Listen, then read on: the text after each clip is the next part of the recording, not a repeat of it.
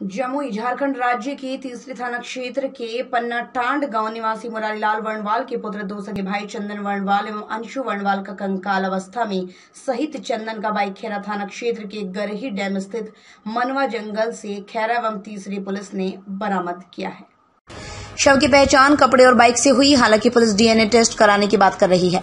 शव की सूचना मिलते ही तीसरी थाना एवं खैरा थाना पुलिस घटनास्थल पर पहुंचकर मामले की छानबीन में जुट गई।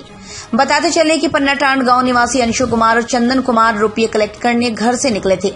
रास्ते में तरीके से लापता हो गए, जिसके बाद गड़ी डैम के समीप से दोनों भाइयों का पर्स मिला था। घटना को लेकर दोनों लड़के के मामा प्रमोद वर्णवाल ने इसकी सूचना खैरा थाने को भी दी थी। फ़िलहाल पुलिस शव को अपने कब्जे में लेकर मामले की छानबीन में जुट गई। मौत की खबर सुनकर स्वजनों में कोहराम मच गया। वहीं मृतक चंदन कुमार की पत्नी प्रिया कुमारी एवं स्वजनों का रो रोकर बुरा हाल है।